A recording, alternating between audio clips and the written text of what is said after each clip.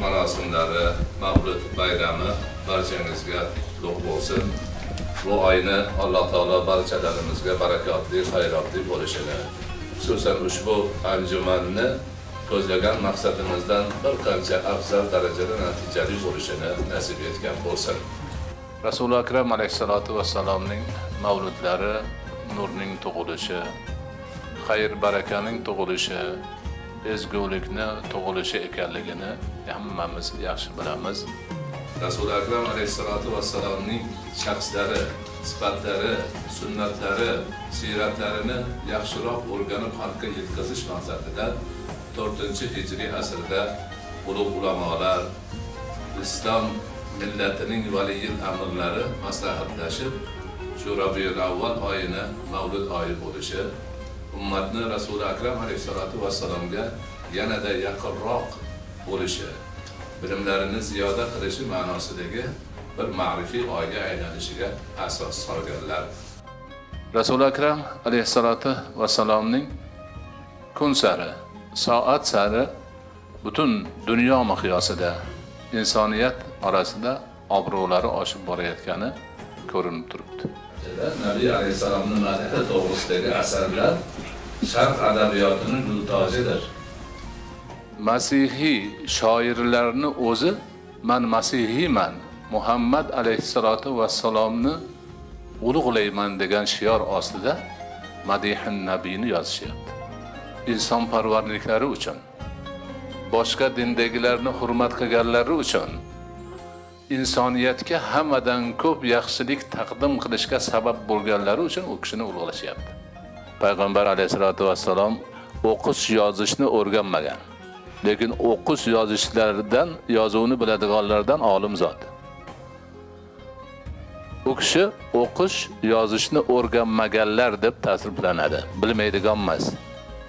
Lekin ilmlari dunyoni barcha olimlarnikidan ko'p olim bo'lganlar Alloh o'zi bergan mana shuni ham yaxshi eslab qo'yishimiz kerak. هو الشمس في حسني هو البدر رونقا محياه فاق النيرين بحسبان إلهي روح روحه وضريحه بعرف شديد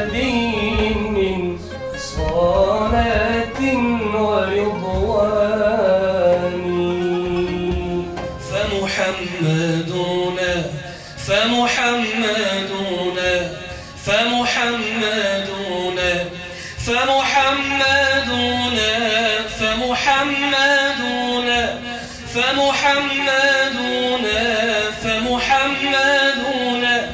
فمحمدون فمحمدون فمحمدون هو سيد فالعز لنا فالعز لنا لإجابته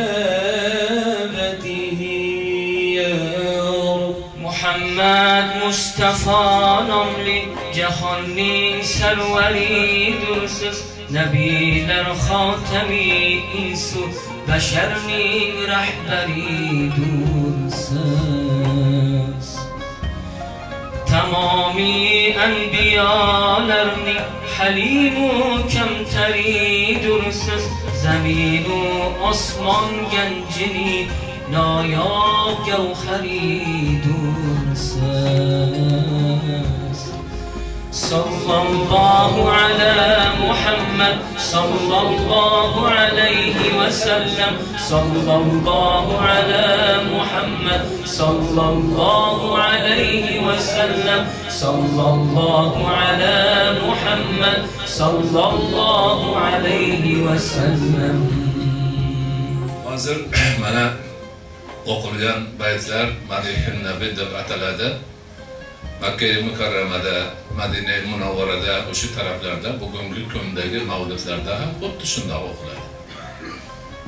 Shovvoz shunaqa madihin nabiyni o'qiydigan e, demak kishilar bor.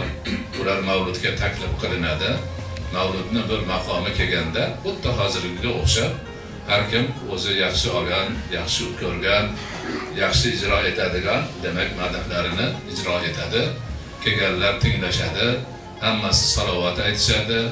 Qalblaridagi rasuli akram alayhissalotu vassalomga bo'lgan e, muhabbatlari yana yangilanadi mavlud munosabati bilan yana o'z demak rasuli rasullari haqidagi ma'lumotlarni ziyoda qiladi muhabbatlarini ziyoda qilinadi. Biz u kishini ummatlari bo'lishga musharraf bo'lgan bandalar ummatlar u zotni qancha madh qilsak u zotni ta'limotini qancha o'rgansak qancha bilsak bir birimizga o'rgatsak shuncha yaxshi bo'ladi.